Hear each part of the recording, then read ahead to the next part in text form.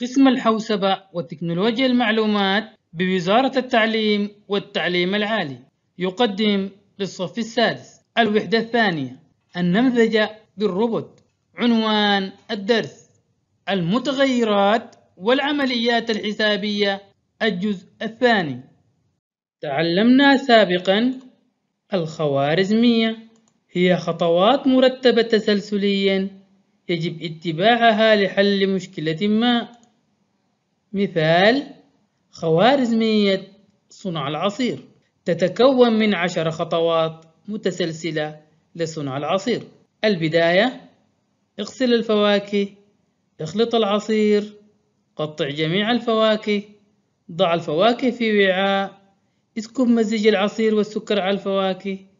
إذا كان المزاج جيدا اذهب إلى الخطوة تسعة. أي غطي الوعاء وضعه في الثلاجة لمدة ثلاثة إلى أربع ساعات قبل التقديم.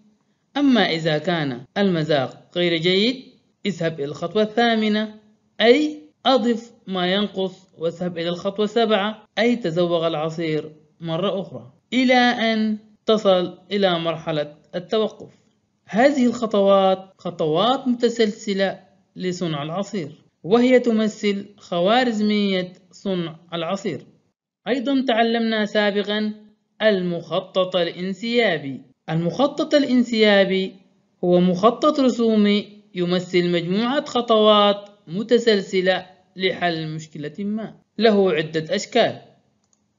هذا الشكل للدلالة على بداية ونهاية العمليات.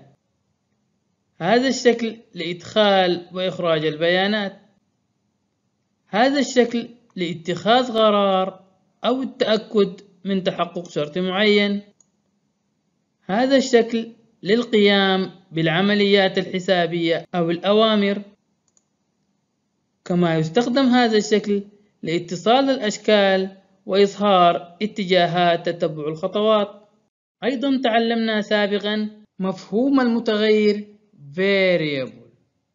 هو مكان في ذاكرة EV3 يمكنه تخزين قيمة معينة كما تعرفنا على تحديد نوع ووضع المتغير سواء كان المتغير في وضع الرايت أو وضع ال read وتحديد نوعه من text numeric أو غيره من الأنواع المختلفة. كما تمكنا من تسمية المتغير يمكن أن يكون اسم المتغير حرفا واحدا أو كلمة أو عدة كلمات أو أي تسلسل من الحروف والأرقام.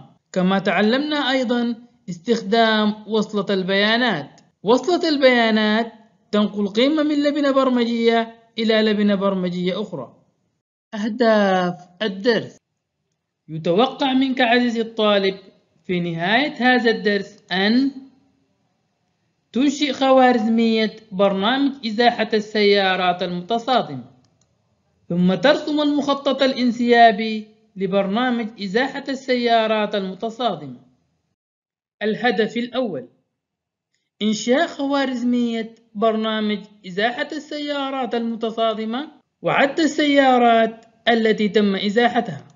هذه هي الخوارزمية التي قمنا بإنشائها سابقا التي تمكننا من إزاحة السيارات المتصادمة دون عدها. لنراجع الخوارزمية معا. كما ذكرنا سابقا تحتوي أي خوارزمية على بداية ونهاية ثم المهام التي تؤديها هذه الخوارزمية. تحرك الروبوت للأمام بقوة 20 يقيس الروبوت المسافة بينه وبين السيارة التي أمامه. إذا كانت أقل من 10 سنتيمتر يتوقف على الحركة ثم ينتظر ثانيتين ثم يحرك الذراع دورة كاملة لإجلاء السيارة المتصادمة ثم ينتظر ثانية. أما إذا كانت المسافة أكثر من 10 سنتيمتر فإن الروبوت يقيس المسافة مرة أخرى. هل يوجد عائق على مسافة 255 سنتيمتر؟ إذا كان الشرط صحيحا يتحرك إلى الأمام بقوة 20 ثم يقيس المسافة بينه وبين الحاجز الذي أمامه ثم يكرر الخطوات التي تم ذكرها مرة ثانية إلى أن يجلي جميع العوائق. عند الانتهاء من جميع العوائق أي أن المسافة بينه وبين العائق أكبر من 255 سنتيمتر يذهب إلى نهاية الخوارزمية. لننشئ خوارزمية إزاحة السيارات المتصادمة وحساب عدد السيارات التي تم إجلاؤها. أولا نضع بداية الخوارزمية ثم نضبط القيمة الأولية للمتغير ونضعها صفر. في هذه الخطوة يتم إضافة متغير وجعل القيمة الأولية صفر. الخطوة الثالثة تحرك للأمام بقوة 20 الخطوة الرابعة هل يوجد عائق على مسافة أقل من 10 سنتيمتر؟ إذا كان الشرط صحيحا اذهب إلى الخطوة خمسة. وهي توقف عن الحركة ثم انتظر ثانيتين ثم حرك الذراع دورة كاملة لإجلاء السيارة المتصادمة. ثم انتظر ثانية واحدة. ثم أضف واحد إلى قيمة المتغير أي تم إجلاء عدد سيارة واحدة. ثم عرض قيمة المتغير على الشاشة. سيتم عرض الرقم واحد على شاشة EV3 أما إذا لم يتحقق الشرط أي أن المسافة أكثر من 10 سنتيمتر سيتم الذهاب إلى الخطوة رقم 11 وهي هل يوجد عائق على مسافة 255 سنتيمتر؟ إذا كان الشرط صحيحا أي أن هنالك سيارة أخرى يتم تكرار الخطوات السابقة من الخطوة رقم ثلاث وهي يتحرك إلى الأمام بقوة 20 ثم يبحث عن العائق مرة أخرى واتباع جميع الخطوات التي تم ذكرها أما إذا كان الشرط خطأ أي أنه لا يوجد عائق على مسافة 255 سنتيمتر. في هذه الحالة نذهب إلى نهاية الخوارزمية ونقوم بذلك غد. أجلينا جميع السيارات الموجودة وحسبنا عددها وذلك باستخدام لبنة المتغير. الهدف الثاني وهو رسم المخطط الانسيابي لبرنامج إزاحة السيارات المتصادمة.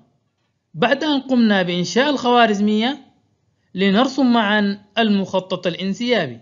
أولا نرسم بداية المخطط الانسيابي في شكل بيضوي ثم نرسم مستطيل ونضع الخطوة الثانية به وهي أضبط القيمة الأولية إلى صفر أي أنها أمر أو عملية يتم رسمها في شكل مستطيل. الخطوة الثالثة وهي تحرك للأمام بقوة 20 وأيضا ترسم في شكل مستطيل. ثم نرسم الخطوة الرابعة في شكل معين لأنها تحتوي على شرط. هل يوجد عائق على مسافة أقل من 10 سنتيمتر؟ إذا كان الشرط صحيحا اذهب إلى الخطوة خمسة. إذا كان الشرط خطأ اذهب إلى الخطوة 11 الخطوة الخامسة توقف عن الحركة. أيضا أمر ترسم في شكل مستطيل. ثم ينتظر ثانيتين أمر وأيضا ترسم في شكل مستطيل. ثم حرك الذراع دورة كاملة لإجلاء السيارة ويتم رسمها أيضا في شكل مستطيل. ثم انتظر ثانية واحدة وأيضا ترسم في شكل مستطيل لأنها أمر. أيضا أضف واحد إلى المتغير لأنها عملية ترسم في شكل مستطيل. الخطوة العاشرة. أعرض قيمة المتغير على الشاشة وهذه ترسم في شكل متوازي أضلاع لأنها مخرجات المخرجات والمدخلات كما تعلمنا سابقا يتم رسمها في شكل متوازي أضلاع ثم نرسم الخطوة الحادية عشر وهي هل يوجد عائق على مسافة 255 سنتيمتر؟ إذا كان الشرط صحيحا يتم تكرار الخطوات من الخطوة رقم ثلاثة إلى الخطوة العاشرة. أما إذا كان الشرط خطأ نذهب إلى الخطوة الثانية عشر. تم رسم هذه الخطوة في شكل معين لأنها شرط. ثم نرسم الخطوة الأخيرة وهي النهاية. تعلمنا في هذا الدرس إنشاء خوارزمية برنامج إزاحة السيارات المتصادمة وحساب عدد السيارات التي تم إجلاءها. أيضا تعلمنا في هذا الدرس رسم المخطط الانسيابي لخوارزمية إزاحة السيارات المتصادمة. وبهذا نكون قد تمكنا من إنشاء الخوارزمية ورسم المخطط الانسيابي الخاص بها. مع تمنياتنا لكم بالتوفيق قسم الحوسبة وتكنولوجيا المعلومات.